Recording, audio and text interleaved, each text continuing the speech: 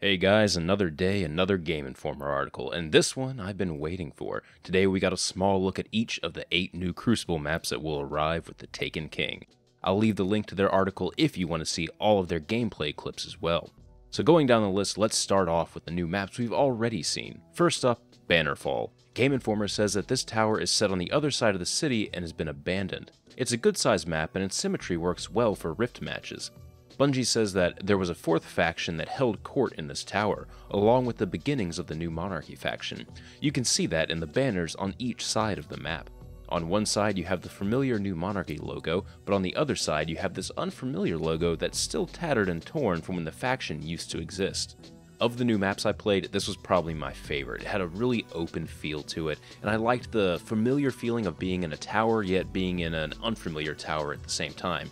Rift mode on this particular map felt very balanced, and it was a really interesting map overall. I can foresee using any type of loadout here because there were good long sight lines, but there was also a lot of tight corners that you wanted to have a shotgun or just a fast time to kill weapon equipped as well.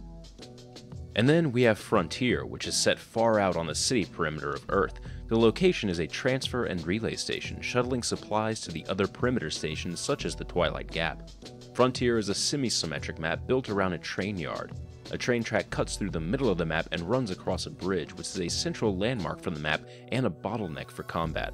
Frontier features a lot of good sniper sightlines and has a good mix of open and closed spaces for firefights. Again, this is a very well balanced map for different loadouts. If you want to snipe, then generally you're going to be on the inside area of the map where it's more open. Both ends of the map are very closed off, which is where rift combat will get really interesting. If you're trying to run that rift into a very secured location with a couple people that have shotguns, you're probably going to die. Next up, Crossroads. This map is located on a Vex structure and is one of only two maps featuring teleporters. Crossroads is overgrown with the giant vegetation that formed on Mars in the wake of the Traveler's arrival. Bungie says that it's an interesting mix of the familiar Vex architecture that leans a little bit more towards metallic instead of crumbled stone, and there are giant rotted out tree stumps that provide some good cover. It's almost two maps because there's an entire chunk that functions as its main body where the team spawn, and then there's a separate island that's a gnarled mass of trees and roots set way off to the side. They're connected by launchers that catapult you across the map as well as three sets of teleporters. This is still a really fun map to play on as I'm not used to playing with teleporters and the launcher cannons. And then there's Sector 618, a timed PlayStation exclusive map. You can expect a lot of leaping and platforming on this particular map, since Sector 618 features a square layout that has two bridges crossing a central chasm. The map is actually set inside the Cosmodrome wall.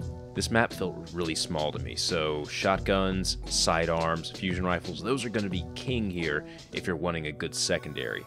Now the next four are brand new, and we got our first bits of gameplay on them today. Unfortunately, due to copyright reasons, I can only post screenshots, but feel free to check out the Game Informer article to see the full 30 second clips of each map.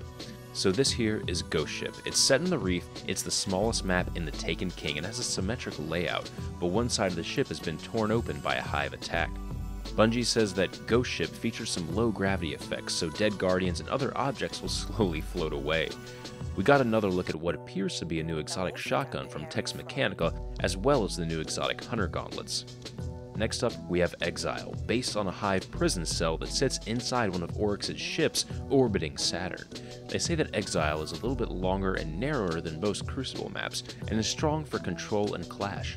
The lower level adds a vertical element to combat.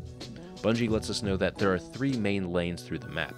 There's the bridge side, which takes you out past a window that shows you Saturn's and some of the other ships in Oryx's fleet. Down the middle of the map is a ramp that takes you through a circular room with a crystal in it.